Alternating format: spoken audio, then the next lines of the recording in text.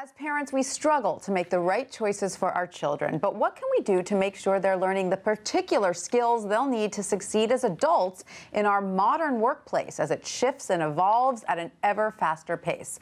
Jen Prosek, founder and CEO of Prosek Partners and co-author of Raising Can-Do Kids, Giving Children the Tools to Thrive in a Fast-Changing World, joins us now to discuss. Jen, thanks so much for being here. Thanks for having me. First of all, what inspired you to write this book? Well, my brother and I are both entrepreneurs, and my whole adult life, people were saying, What did your parents do? What did your parents do to create such entrepreneurial kids?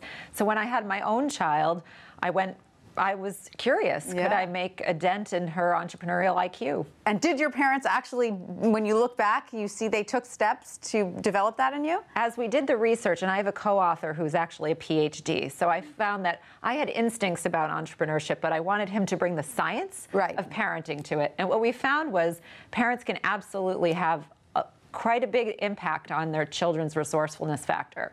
By encouraging certain qualities? By encouraging certain qualities. For example, optimism. Mm -hmm. And this is something my parents definitely encouraged in me. Framing the day as an adventure, being an optimist, rubs off on your children. And if you want them to embrace failure, for instance, like entrepreneurs do, yes. you have to have a certain level of optimism. And you resilience, I would imagine, right? Absolutely. That's a big one. Letting things roll off your back? Yes, resourcefulness, resilience, um, even having small failures, and as a parent, reframing those as they're okay. Right. Um, if you look at Silicon Valley entrepreneurs, I read in a certain story, they typically have three to five failures before their big hit. So American entrepreneurs embrace failures like no one else in the world, and we want to make sure we hold on to that. It's a learning opportunity. It's a learning right? opportunity. So this is important, you're saying, for all children in the workplace of the future, not just those children who will go on to be entrepreneurs. Absolutely. I really wrote the book um, to, about creating entrepreneurial kids, mm. not just business babies. Right, right. so this is for everyone.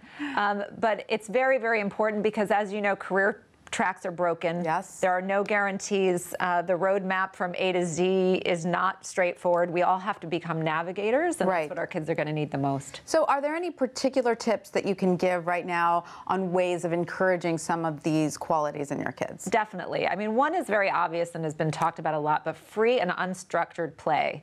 You know, we are overscheduling our children to the point where they don't take risk, they don't have experience, they don't have creativity, and that's going to be a problem in the future. Kind of sucking all the entrepreneurial opportunities out of the way right. we raise our kids. And you say creativity and and participating in the arts is important as a kid. Absolutely, all of those things. I mean, how many kids are actually chucked into the backyard with a bunch of sticks and right. told to make up their own game anymore? It's right. just not what we do. And even myself, being an entrepreneur and being so concerned about it, you find yourself falling into a parenting culture that really doesn't do this. Right, because I can see how the modern workplace really rewards creativity and thinking outside of the box. Absolutely. Absolutely. And you need to train kids or give them the opportunity to do that. You do. And I think what we're finding as employers, because I'm mm -hmm. also an employer, is right. the kids are more fearless, um, smarter, faster, everything, but they actually lack that um, entrepreneurial spirit mm-hmm. sometime. Mm-hmm. And, and you even find, and I'm sure you've read about this, parents kind of doing the job for their kids as they're searching for a job. Yeah, so that's that helicopter parenting. Yes, so exactly. you're saying get rid of the helicopter parenting. You have to. Give your kids the courage to take risks and to fail. Should we should we actively take the opportunity to set them up in ways that they will fail? Yes, we should look for sort of safety zones mm-hmm. to take a risk. Right. Let, us not like hurt our children. Right. No, no, no. You know, if there's an opportunity to take a small risk mm-hmm. that is relatively low risk, it's right. worthwhile. And so, what are some ways you can do this? Let's say you have a child that is not particularly artistic or athletic. How do you encourage this risk taking? Well, it's funny, even even just not doing everything for them. I'll give you an right. example. Okay. When my child went to Montessori school when she was two, the first thing that the, the teacher said to us was,